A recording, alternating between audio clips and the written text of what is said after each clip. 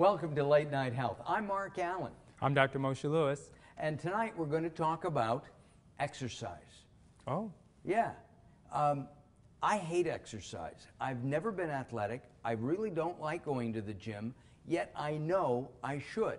and you know I love to exercise, and I even took you going exercise with me. So it's right, and you're right, that we've got to do it more, even though we don't like it, because we figure if we use our brains and we use our muscles, we keep them going. So, the key to the fountain of youth is exercise. It is. It may not be quite as tasty as some of the things that they say are going to be in that fountain when we finally find it, but exercise really does keep our joints strong, keeps our bones moving, and believe it or not, keeps our heart healthy. A few weeks ago on our radio show, we actually interviewed a 90 plus year old man who does an hour of exercise a day in addition to um, swimming and uh, dancing once or twice a week, ballroom dancing. Uh, this man is magnificent. What is something that is a little bit easier? Walking?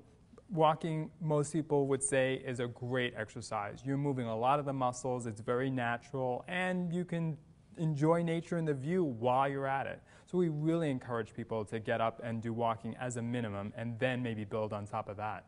We're going to have an actual walking segment in a harbor where Dr. Lewis and I walk and talk, and you'll see us, and Dr. Lewis will give us some tips about how fast you should walk slow, fast, medium. So we'll be doing that on upcoming on Late Night Health. I'm Mark Alyn. I'm Dr. Moshe Lewis. Thanks for watching.